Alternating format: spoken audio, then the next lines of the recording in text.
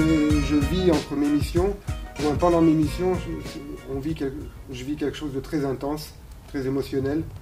Et euh, bien souvent, quand je reviens, j'ai besoin de repos. Donc euh, souvent, je prends un mois, deux mois de break. Et euh, finalement, j'en profite pour profiter de ma famille, de mes amis, de me ressourcer. et surtout, reprendre un petit peu les, habitudes du pays qu'on perd en mission. Mais c'est vrai qu'après un mois ou deux, la non-activité, puis le fait de ne plus vraiment me sentir utile, ça me manque. Alors ben, je suis souvent prêt à repartir pour une nouvelle mission, un nouveau challenge.